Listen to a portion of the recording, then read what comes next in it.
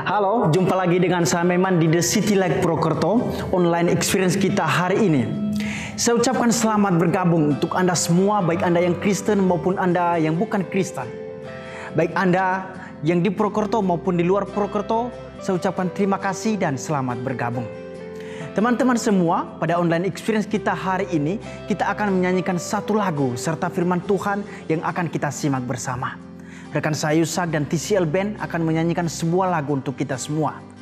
Dan setelah rekan saya Yusak menyanyikan sebuah lagu, kita akan bersama mendengarkan kebenaran firman Tuhan yang akan disampaikan oleh Pastor Rea Arohareva dengan tema Breath of Life. Apa yang dimaksud dengan tema ini? Mari bersama kita simak dan semoga firman Tuhan hari ini menguatkan dan memberkati kita semua. Sebelum kita memulai online experience kita, saya mengajak kita semua untuk mensyukuri setiap kehidupan yang kita alami. Masalah, persoalan, kegagalan, berkat, dan keberhasilan bisa silih berganti. Tapi satu hal yang perlu kita ingat yaitu kasih Tuhan untuk kita, untuk Anda dan saya selalu baru dan selalu ada. Mari terus bersemangat dalam menjalani kehidupan ini, jangan tawar hati dan jangan menyerah. Karena selalu ada jalan bagi kita yang mau berusaha dan berharap kepada Tuhan. Baik, kita akan segera bergabung di online experience kita hari ini. Dan untuk informasi tentang khotbah dan pujian hari ini adalah rekaman ibadah minggu lalu. Jadi untuk teman-teman semua, jangan ke mana-mana, tetap stay di channel ini. God bless you.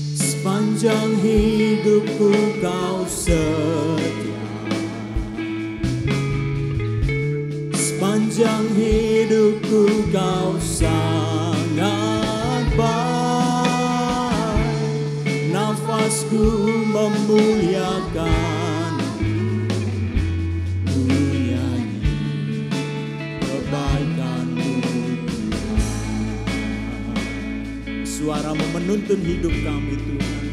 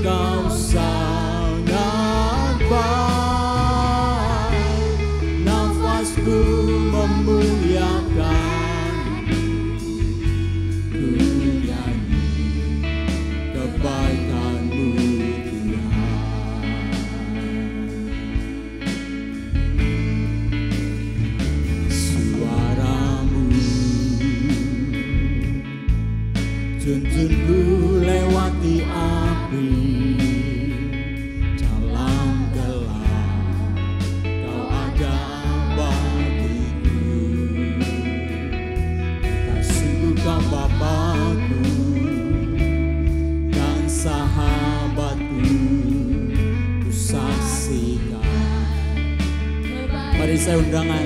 Saya undang Bapak Ibu Saudara bangkit berdiri bersama-sama. Katakan, sepanjang hidupku kau setia.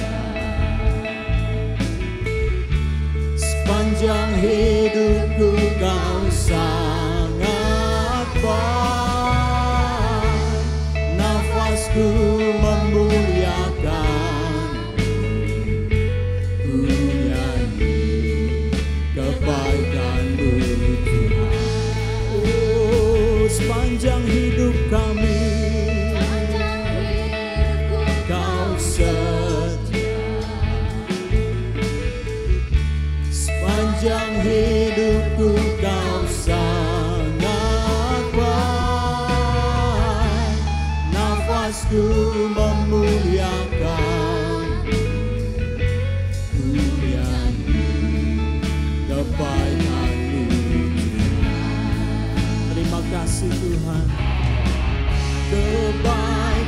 Kebaikanmu Tuhan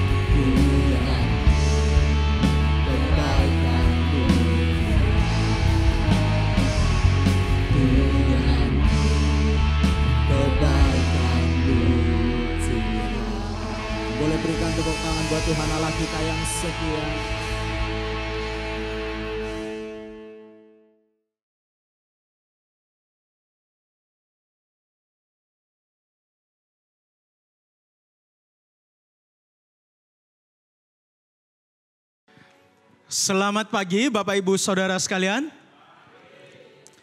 Ya, puji syukur kepada Tuhan hari ini kita boleh kembali beribadah bersama-sama.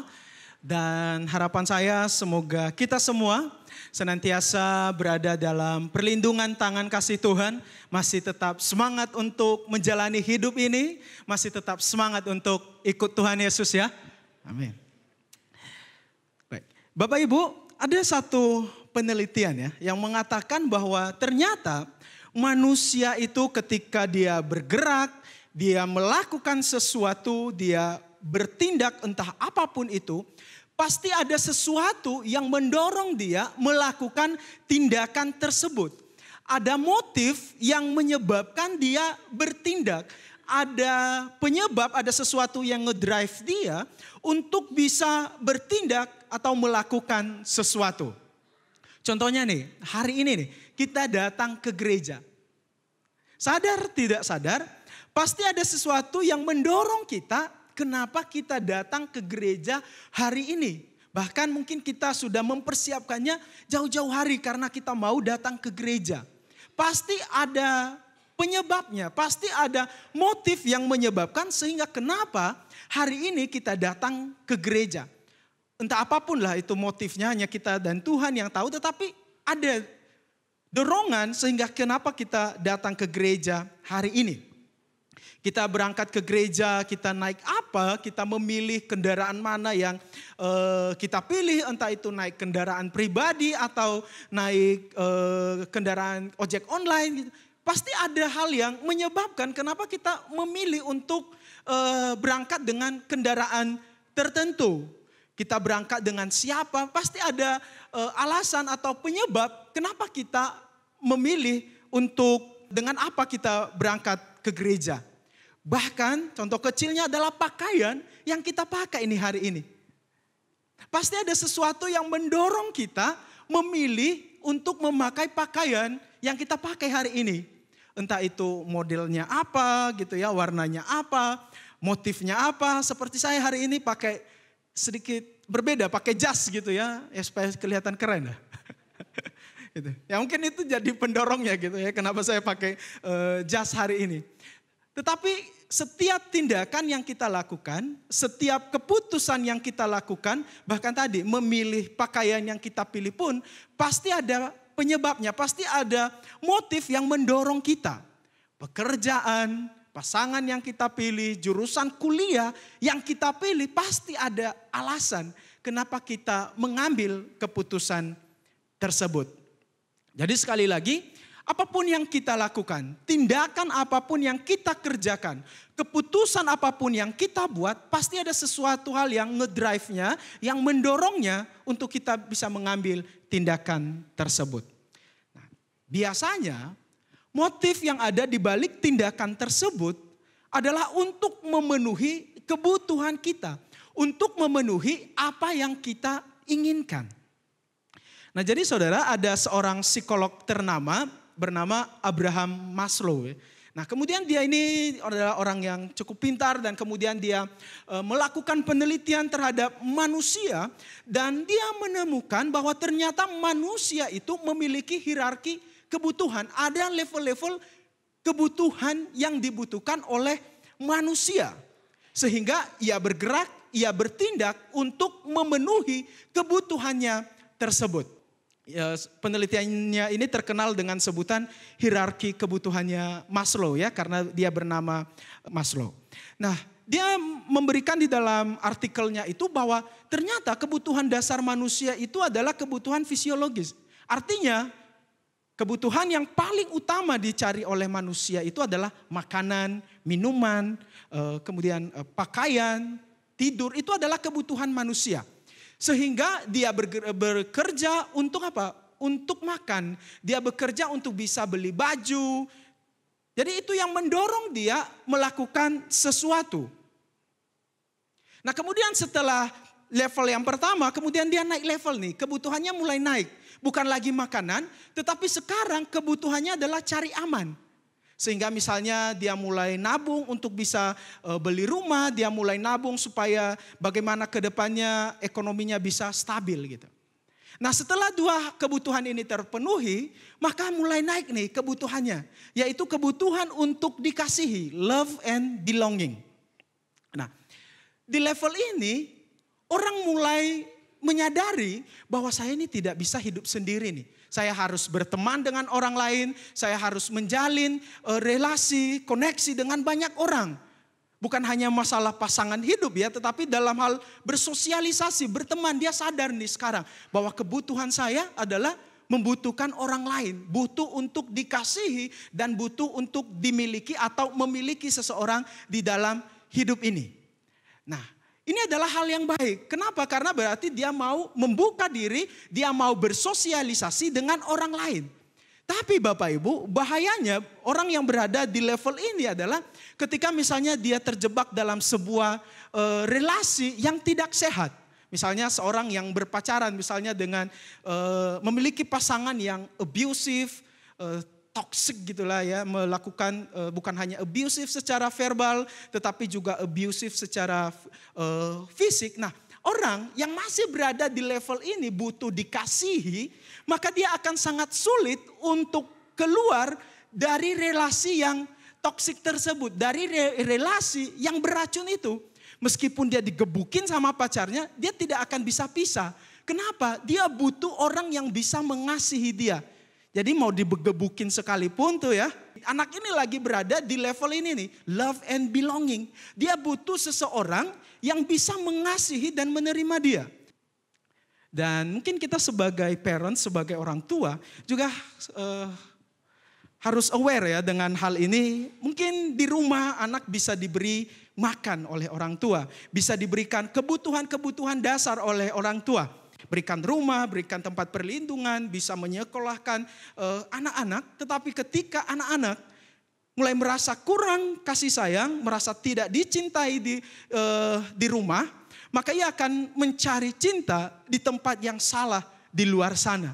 Dan mungkin sudah banyak contoh yang cukup menyedihkan yang kita baca di berita bagaimana uh, orang-orang, bagaimana anak-anak mencari kasih sayang di luar sana, bahkan lari uh, ke hal-hal yang tidak benar gitu ya. Dan saya meminjam satu uh, pesan yang disampaikan oleh seorang uh, pendeta yang beberapa waktu yang lalu ya, kayaknya awal bulan Oktober kemarin anaknya itu bunuh diri ya kalau Bapak Ibu bisa dengar di berita juga dari yang masih sekolah di Petra Surabaya gitu. Dan kemudian bapaknya itu di dalam masa-masa penghiburan dan kemudian ada kesaksian, kemudian dia memberikan pesan kepada para orang tua, dia mengatakan mari menjadikan keluarga sebagai rumah yang nyaman bagi anak-anak kita untuk bisa kembali pulang. Ya. Memang rumah, rumah secara fisik gitu ya. Tapi rumah yang sebenarnya apakah kita bisa menyediakannya bagi anak-anak kita. Nah itu pesan dari uh, Bapak itu. Nah jadi semoga kita semua bisa juga memenuhi bukan hanya kebutuhan dasar daripada anak-anak kita, tetapi juga uh, memenuhi kebutuhan akan dikasihi oleh orang-orang yang mereka percayai dalam hidup mereka ini. Nah, nah setelah level ini Ya, tadi orang bergerak, orang melakukan sesuatu karena dia butuh untuk dikasihi. Nah kalau dia sudah terpenuhi akan hal itu, maka sekarang dia mulai naik level nih. Yang dia butuhkan bukan lagi kebutuhan untuk dikasihi karena dia sudah dealing dengan itu. Sekarang dia butuh untuk diapresiasi, butuh untuk diakui ini. Jadi setiap kerja keras yang dia lakukan, dia mengharapkan untuk bisa mendapatkan apresiasi dari orang-orang terdekatnya khususnya.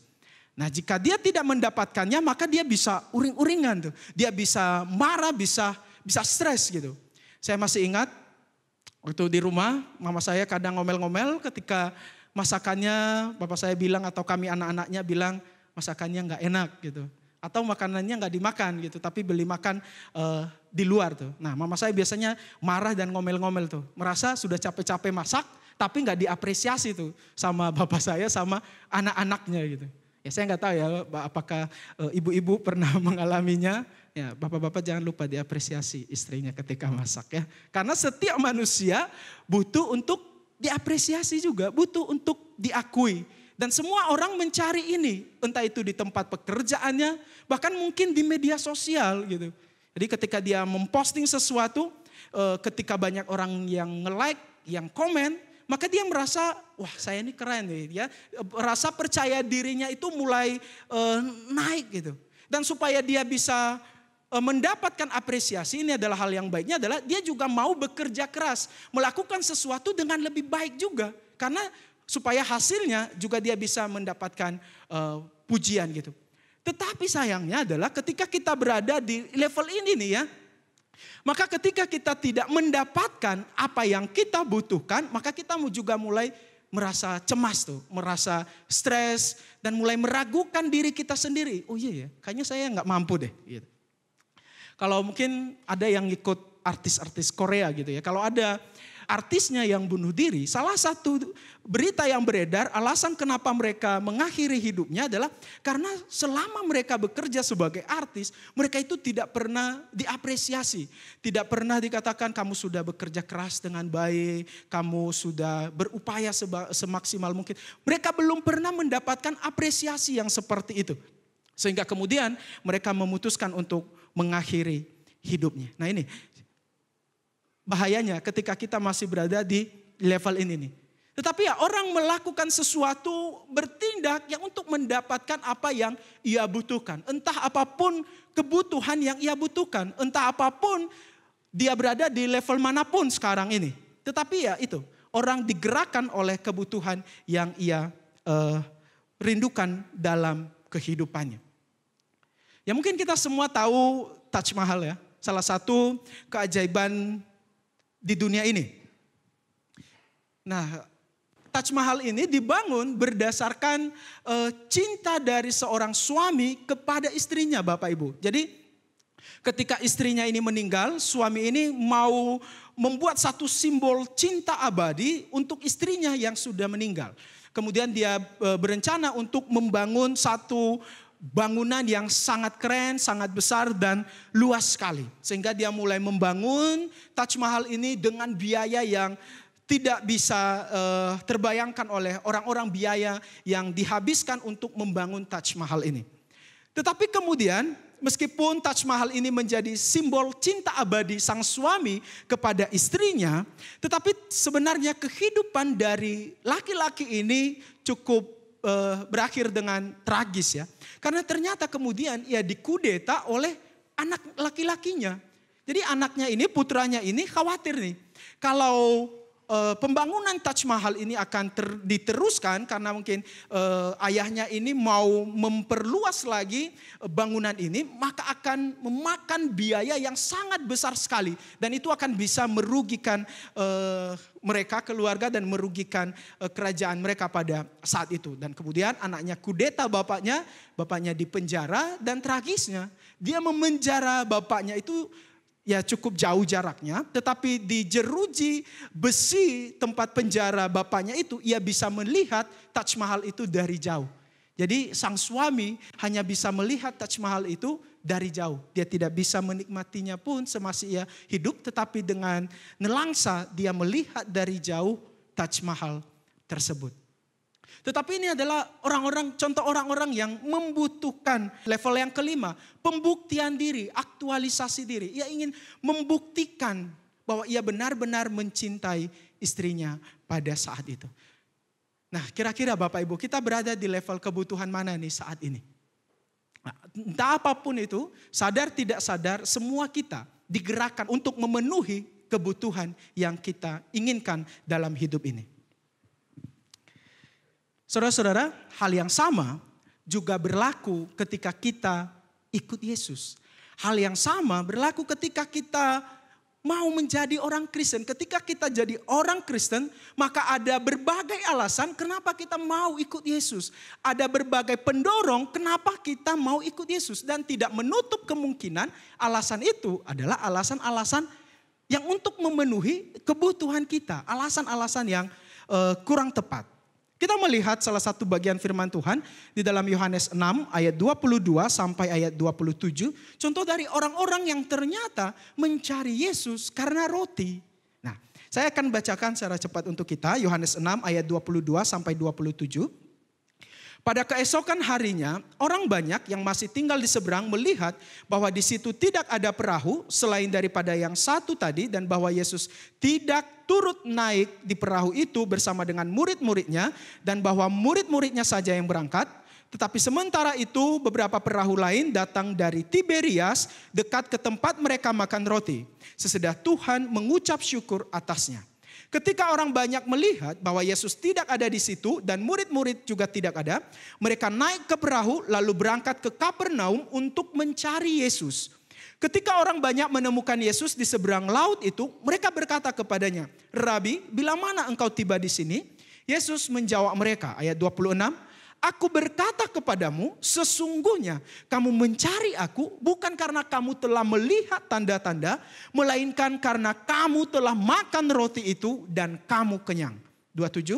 Bekerjalah bukan untuk makanan yang akan dapat binasa, melainkan untuk makanan yang bertahan sampai kepada hidup yang kekal yang akan diberikan anak manusia kepadamu. Sebab dialah yang disahkan oleh Bapa dengan materainya. Nah nanti kita akan uh, melanjutkan melihat ayat-ayat selanjutnya. Nah Bapak Ibu, latar belakang dari percakapan Yesus dengan orang banyak di yang sudah kita bacakan tadi adalah peristiwa setelah mukjizat 5000 orang diberi makan dengan lima roti dan dua ikan. Lima roti dan uh, dua ikan dan semua orang bayangkan 5000 orang diberi makan pada saat itu dan sisanya 12 bakul. Nah setelah peristiwa ini pasti uh, 5.000 orang pasti cepat sekali menyebarkan uh, berita mukjizat ini. Dan kemudian setelah peristiwa mukjizat yang luar biasa ini, maka semakin banyak orang yang mencari dan mau bertemu Yesus. Tetapi ternyata mereka mencari Yesus karena roti, karena makanan mereka sudah kenyang dan kemudian mereka minta lagi roti tersebut supaya mereka kenyang. Mereka tidak melihat dia sebagai pribadi yang berharga. Utusan Allah, Mesias, mereka tidak melihatnya seperti itu. Tetapi mereka hanya melihat mujizat-mujizatnya saja. Mujizatnya sebagai sesuatu yang berharga. Sehingga mereka berpikir untuk menjadikan dia sebagai alat. Alat untuk apa? Alat untuk mengenyangkan perut mereka. Kayaknya orang ini bisa nih dijadikan sebagai lumbung makanan kita nih. Kayaknya orang ini bisa jadi alat kita nih untuk bisa memenuhi kebutuhan kita nih. Nah, jadi mereka mencari dia karena mujizat. Mereka mencari dia karena roti saja gitu. Sehingga Tuhan Yesus mengatakan, kamu mencari aku bukan karena melihat tanda-tandanya nih. Tetapi karena kamu sudah makan roti dan kamu kenyang sehingga kamu mau mencarinya lagi. Bapak Ibu, bagaimana dengan kita? Kalau misalnya kita kembali ke kebutuhan uh, hierarki kebutuhannya Maslow tadi. Apakah kita juga terdorong untuk ikut Tuhan, untuk mencari Tuhan hanya untuk memenuhi kebutuhan-kebutuhan dasar kita? Nah, jadi pertanyaan perenungannya bagi kita adalah saat kita berkata aku mencari Tuhan, aku merindukan Tuhan dalam hidup ini, apa yang kita cari Bapak Ibu? Apa yang kita rindukan? Tahukah kita apa yang sedang kita cari? Tahukah kita apa yang sedang kita rindukan? Kita rindu berkat-berkatnya kah? Atau justru kita rindu dengan sang sumber berkat tersebut? Jadi mari kita bertanya kepada diri kita. Saat kita berkata, aku mencari Tuhan, aku merindukan Tuhan, apa yang kita cari? Apa yang kita rindukan? Berkat-berkatnya kah? Mujizat-mujizatnya saja kah? Atau dia sang sumber berkat tersebut. Nah ada seorang psikolog dan juga seorang teolog yang cukup uh, terkenal juga bernama James Fowler. Nah kemudian dia itu meneliti kehidupan orang-orang Kristen Bapak Ibu. Kemudian dia meneliti dan dia menemukan bahwa ternyata manifestasi dari iman orang-orang Kristen itu ternyata berbeda-beda. Tingkah laku yang menggambarkan iman dari orang-orang Kristen itu ketika mereka ikut Yesus, ketika mereka berdoa, ketika mereka datang ke gereja itu ternyata perilakunya berbeda-beda. Nah kemudian dia itu menemukan ada enam stage nih, level iman dari orang-orang Kristen. Gitu. Nah misalnya yang pertama dia mengatakan bahwa ada orang yang ikut Tuhan Yesus tapi dia nggak tahu nih. Kenapa dia percaya sama Yesus. Dia datang ke gereja, tapi dia nggak tahu kenapa dia datang ke gereja nih. Tetapi ajaibnya setiap hari minggu, dia tetap datang ke gereja. Tetapi apakah kita berani mengatakan bahwa dia bukan orang beriman? Enggak juga. Dia tetap beriman kepada Tuhan dan bisa berkarya juga. Tuhan bisa berkarya melalui dia. Nah, kemudian di level yang kedua ada orang juga yang ternyata dia sudah punya alasan nih. Kenapa dia percaya Yesus. Ada alasan kenapa dia datang ke gereja. Tetapi alasannya adalah ya karena dia senang nih dengan pengajarannya, dia senang dengan uh, gedungnya, dia suka dengan uh, lagunya. Tetapi apakah dia bukan orang beriman? Enggak juga, dia tetap beriman kepada Tuhan dan Tuhan bisa berkarya juga melalui dia. Dia bahkan bisa membawa orang untuk datang kepada Tuhan. Tetapi juga ada perilaku atau dia mengatakan di stage yang uh, ketiga, dia mulai connect nih dengan Tuhan. Tetapi connectnya dengan Tuhan itu ya masih sebatas uh, meminta-minta kepada Tuhan, minta uh, disembuhkan, minta uh, diberkati, bahkan dia akan berdoa dan puasa untuk bisa mendapatkan apa yang uh, ia inginkan dan tidak ada yang salah karena juga Tuhan hadir ya untuk juga e, memberkati setiap kehidupan kita gitu. Tetapi alangkah lebih baiknya jika dibarengi juga dengan kerinduan untuk mau mengenal Tuhan.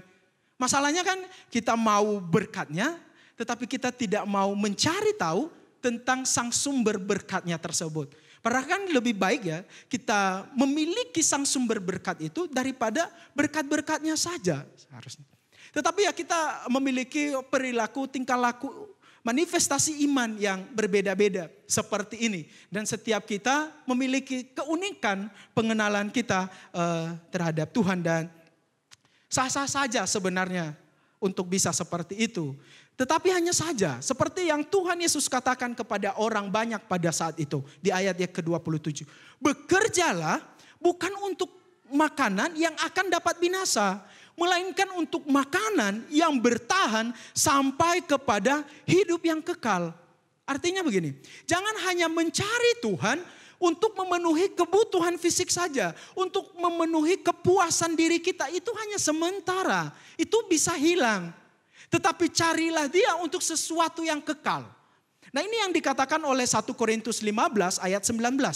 Kalau pengharapan kita kepada Kristus terbatas pada hidup kita di dalam dunia ini saja, maka dari seluruh umat manusia di dalam dunia ini, kitalah yang paling malang.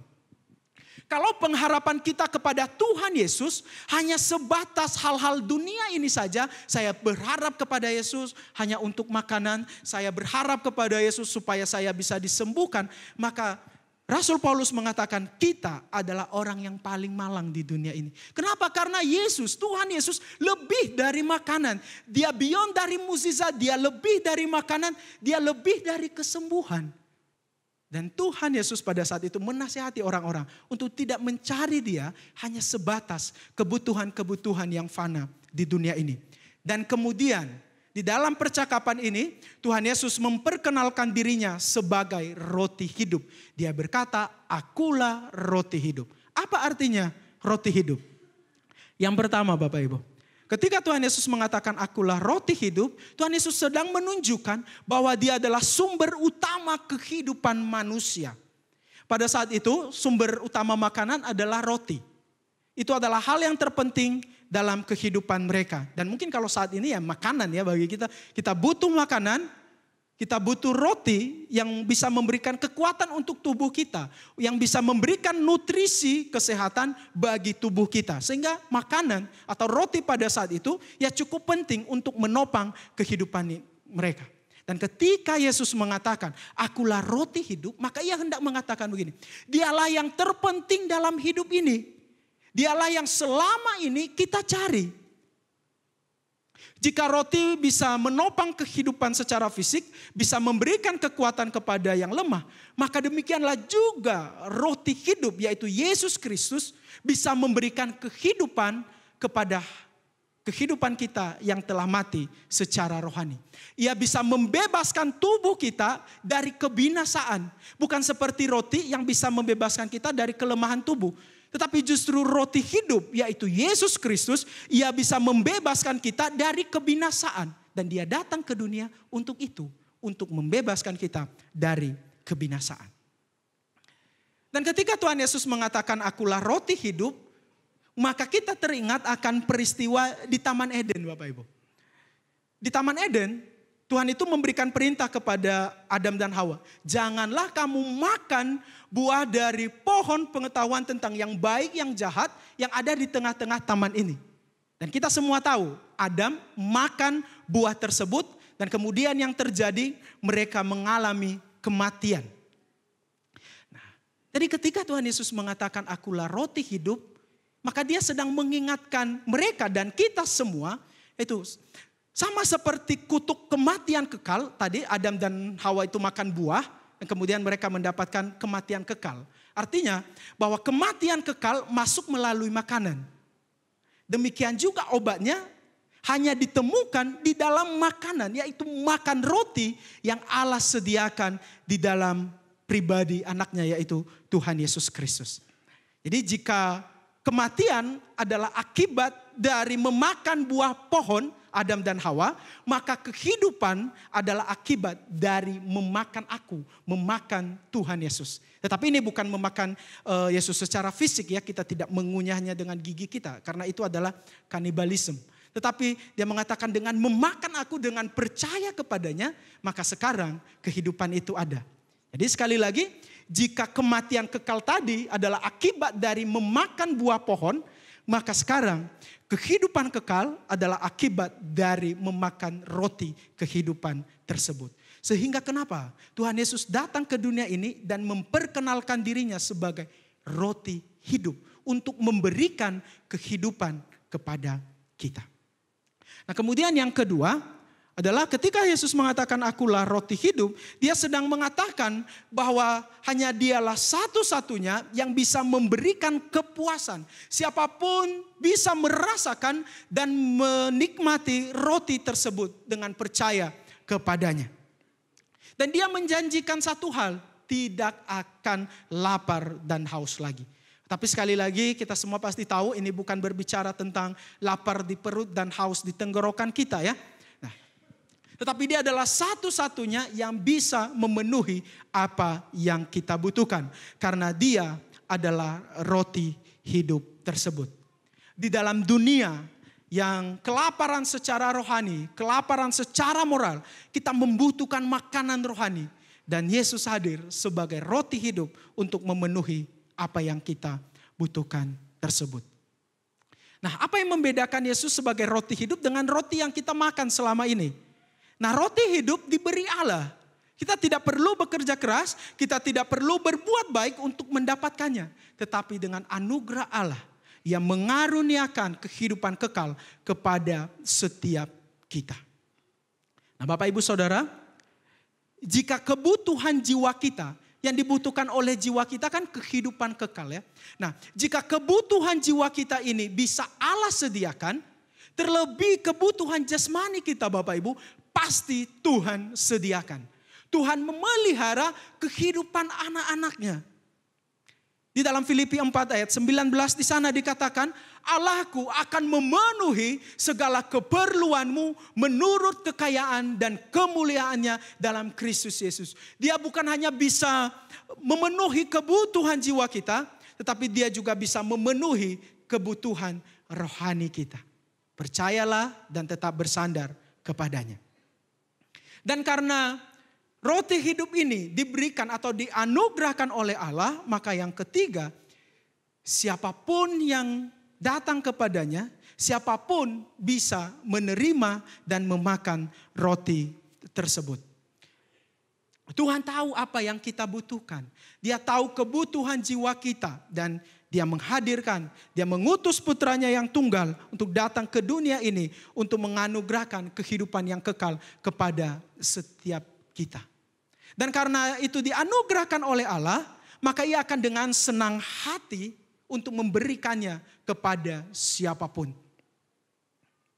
Karena tadi roti hidup ini, kehidupan kekal ini tidak didapat melalui usaha perbuatan baik, tetapi karena dianugerahkan oleh Allah, maka siapa pun akan berhak dan boleh memakannya. Allah memberikannya kepada semua orang. Bahkan Bapak Ibu yang uh, hadir pada saat ini atau sedang mendengarkannya yang bukan Kristen, Anda juga diajak untuk makan roti ini. Anda diajak untuk bisa menikmati roti kehidupan yang Allah telah sediakan bagi setiap kita. Dan tidak perlu baik dulu, tidak perlu suci kudus dulu baru datang kepada Tuhan, tidak. Tetapi justru Tuhan Yesus datang ke dunia ini untuk orang-orang berdosa. Untuk orang-orang yang tidak suci. Untuk orang-orang yang pernah tertolak dalam hidupnya. Ia datang ke dunia ini untuk orang-orang yang seperti itu. Sehingga siapa pun yang datang kepadanya, ia tidak akan pernah menolaknya. Justru ia menerima, ia welcome dengan siapa pun yang datang untuk memakan roti tersebut. Nah, saya mengajak kita untuk melakukan dua hal ini nih selama satu minggu ini Bapak Ibu. Yang pertama adalah karena kita tahu sekarang bahwa roti hidup Tuhan Yesus Kristus telah mengenyangkan jiwa kita dan dia juga berjanji akan memenuhi kebutuhan jasmani kita maka marilah kita juga tetap berdiri teguh, tetap setiap percaya kepadanya ketika kita menjalani hidup yang terkadang kita menjalani hidup yang tidak pasti. Mungkin ada badai hidup yang menerpa kita saat ini. Mungkin ada percikan-percikan gelombang kecil yang sedang terjadi dalam kehidupan kita, di dalam keluarga kita, di dalam pekerjaan kita, di dalam pelayanan kita mungkin. Mari kita tetap berdiri teguh dan kita mau tetap setia ikut Tuhan. Karena kenapa? Karena tadi roti hidup tadi sudah mengenyangkan jiwa kita dan dia juga berjanji akan memelihara kehidupan kita. Dan kemudian yang kedua, mari satu minggu ini kita belajar untuk mempraktekannya. Kita mau membagikan roti tersebut kepada orang lain untuk mengingatkan kita bahwa saya mati gara-gara makanan, yaitu tadi Adam dan Hawa, dan kemudian saya hidup gara-gara roti juga, yaitu roti kehidupan, yaitu Tuhan Yesus Kristus yang datang ke dunia ini mengambil rupa sebagai manusia dan dia mati di atas kayu salib untuk menyelamatkan saya, untuk memberikan kehidupan kekal kepada saya. Dan saya mau membagikan roti hidup tersebut kepada orang lain. Biarlah firman Tuhan ini boleh menjadi berkat bagi kita semua, boleh menjadi kekuatan bagi kita untuk menjalani hidup kita selama satu minggu ini. Bapak Ibu mari kita berdiri bersama-sama, kita meresponi firman Tuhan ini, kita mengingat kembali akan kasih Tuhan kepada setiap kita. Firman jadi manusia, dia diam di antara kita, menjadi terang, menjadi penyelamat bagi setiap kita.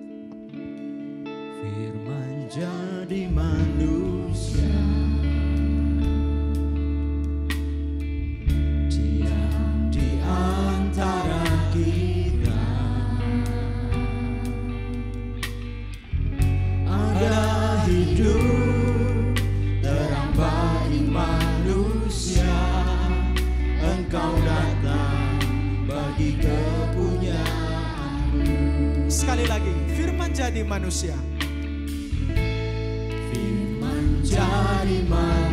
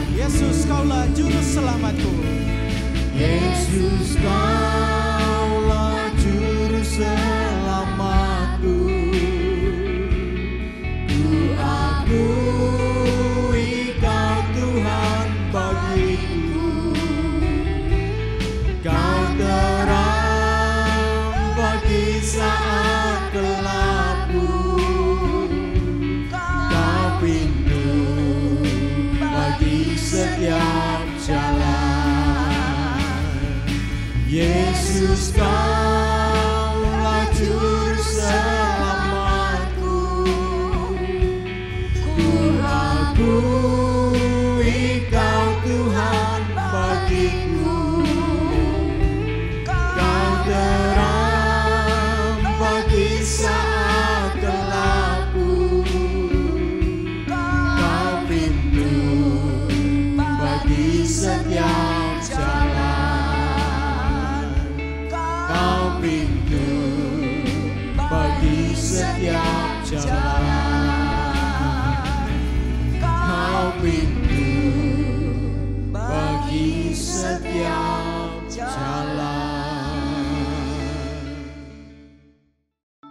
Engkau satu-satunya juru selamat kami ya Tuhan. Karena itu kami ingin tetap bersama dengan Tuhan dalam hidup sehari-hari kami. Kami tidak mau jauh dari Engkau. Firman-Mu akan memberikan petunjuk bagi kami saat kami lemah, saat kami dalam keadaan terpuruk. Firman Tuhan akan selalu memberi kami kekuatan sehingga kami tidak terus jatuh, tapi kami boleh bangkit dan semangat kembali. Terima kasih Tuhan, biarlah firman Tuhan ini boleh menjadi pedoman dalam hidup kami supaya kami boleh memandang kepada Tuhan kami tidak memandang kepada sekeliling kami yang sering kali membuat kami kecewa, yang sering kali membuat kami khawatir, yang sering kali menggelisahkan kehidupan ini. Tapi kami ingin memandang kepada Tuhan, sumber kehidupan kami. Terima kasih Tuhan, terima kasih kuatkan kami terus dalam melakukan tugas pekerjaan kehidupan sehari-hari yang penuh dengan tantangan ini. Kami tidak takut karena Tuhan menyertai kami. Berkati Pak Yaaro yang sudah menjadi berkat bagi kami semua pada hari ini. Pakai terus kehidupannya di mana pun dia berada supaya dapat menjadi berkat bagi banyak orang. Tuhan memberkati juga kami semua yang sudah hadir dalam ibadah pagi hari ini.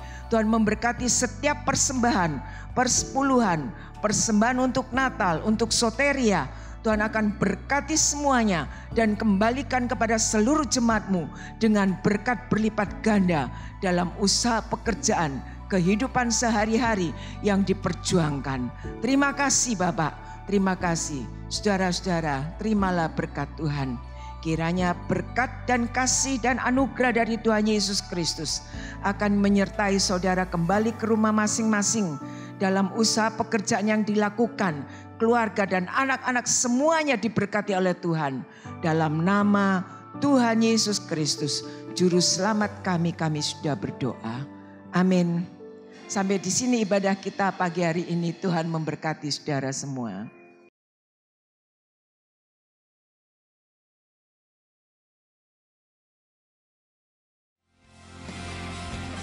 Jika kebutuhan jiwa kita saja Tuhan bisa sediakan, terlebih kebutuhan jasmani, pasti Tuhan sediakan. Terima kasih Pastor Yaro Harepa untuk pesan firman Tuhannya. Semoga kita semua diberi kekuatan dan semangat yang baru. Dan kepada Yusak dan PCL Ben serta volunteer PCL Prokerto, Anda semua luar biasa dan salam kompak selalu. Serta kepada Anda semua yang telah dengan setia menyaksikan tayangan kami ini, saya ucapkan terima kasih. Saya juga ucapkan terima kasih untuk Bapak Ibu dan teman-teman semua yang telah dengan setia dan antusias dalam memberi persembahan. Anda semua luar biasa sehingga program TCL Prokerto bisa berjalan dengan baik dan bisa menjadi reflektor terang Tuhan di kota Prokerto. Kiranya Tuhan memberkati dan memberi kemudahan untuk segala usaha pekerjaan Bapak Ibu semua. Selanjutnya untuk Bapak Ibu yang akan memberikan persembahan, baik persembahan rutin atau persembahan perpuluhan, bisa langsung ke kotak persembahan yang ada di gereja atau Bapak Ibu bisa langsung mentransfer ke rekening gereja yang tertera di layar Anda.